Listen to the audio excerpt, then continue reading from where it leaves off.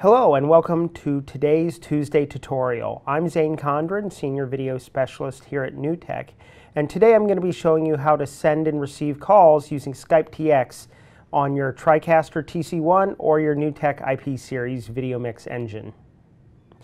Here in our live production interface, we first need to set up two channels to be our Skype TX channels.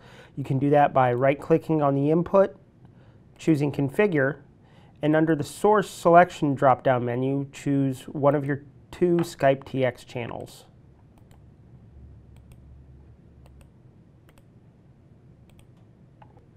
Once you have your inputs set up to be your Skype TX channels, we need to find our IP address so that we can use that to remotely administer the Skype TX calls. To do that, simply click the globe in the upper right hand of the screen and you'll see your IP address right here.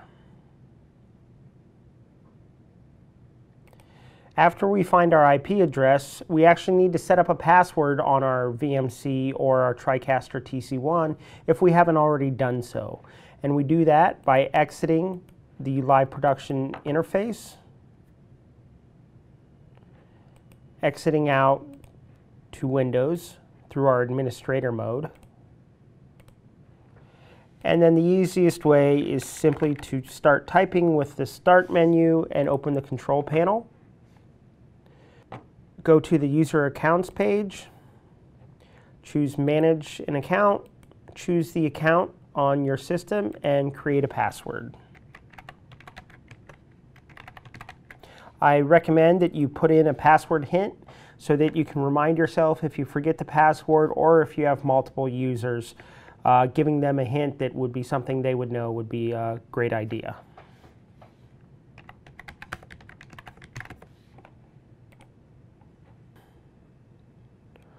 Once you set a password, you will need to restart your TriCaster TC1 or your VideoMix engine. Once your system is rebooted, you can go back into your session and we can start placing calls. Now, to remotely administer your Skype TX calls, you will need to install Skype TX Control on another Windows PC. I have it running on my laptop over here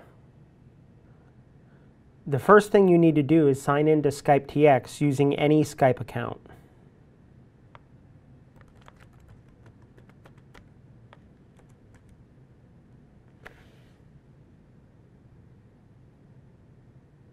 So once you're signed in to Skype TX, you'll see all of your available contacts along the left. And then over here on the right is where we will add our Skype channels that we want to control with this instance of Skype TX control. Once you log into Skype TX, you'll see all of your contacts over here on the left-hand side. Over here on the right is where we can add the Skype TX channels that we want to control with this instance of Skype TX. So we'll simply enter the IP address that we previously found and hit the plus sign.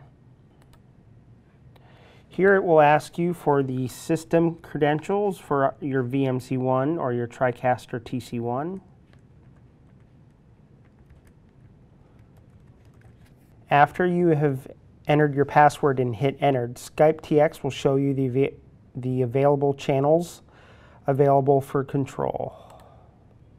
Once you've set up a channel, we can then place a call.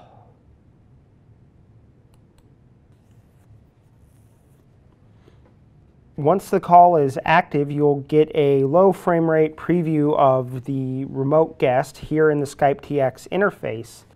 Now back in our live production interface, you'll see the Skype call is active on input number 15 in full resolution. Here in our audio mixer, you'll see that inputs 15 and 16 have been designated to be our Skype channels. Now this is really important that once you designate an input to be a Skype channel, that Skype channel gets its own mix minus return feedback to the remote guest. So that means you don't have to tie up any of your aux buses, you don't have to use external audio processing to do the mix minusing. It's all built right into Skype TX integrated with your TriCaster TC1 or your NewTek video mix engine.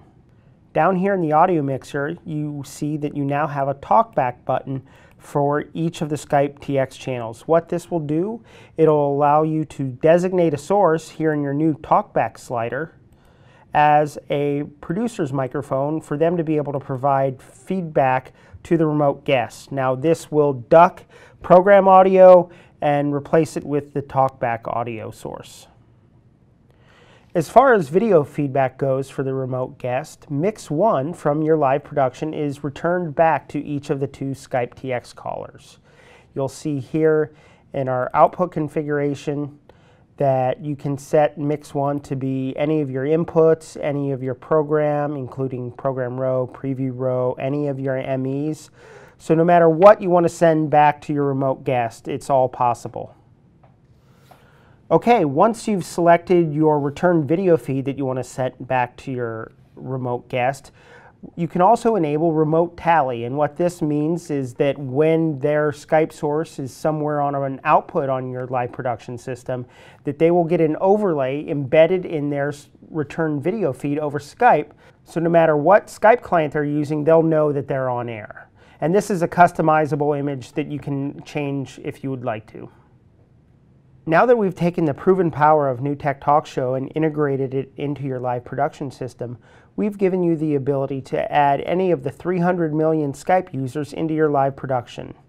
We hope this video has been helpful and informative, and we look forward to seeing you next week at the next Tuesday tutorial.